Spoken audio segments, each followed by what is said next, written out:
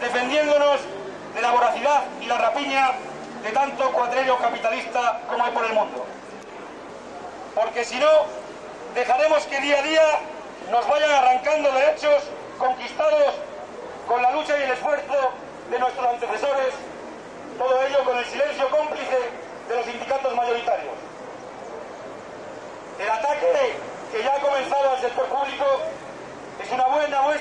intenciones el desmantelamiento del ferrocarril, la privatización progresiva de la sanidad, de la enseñanza, de las comunicaciones, el asalto al sistema de pensiones, a las prestaciones por desempleo.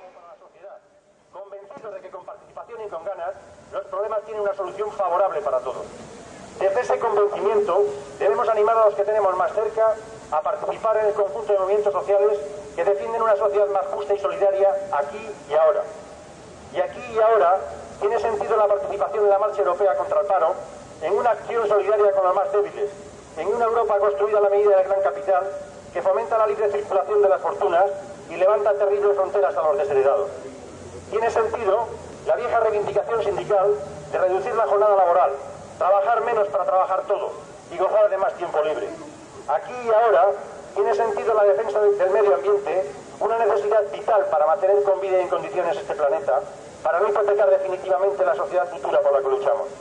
Tiene sentido la participación en la defensa de los servicios públicos, garantía de calidad e igualdad para todos. Aquí y ahora tiene sentido el primero de mayo y la lucha de los trabajadores. ¡Viva el primero de mayo! ¡Viva la lucha de los trabajadores!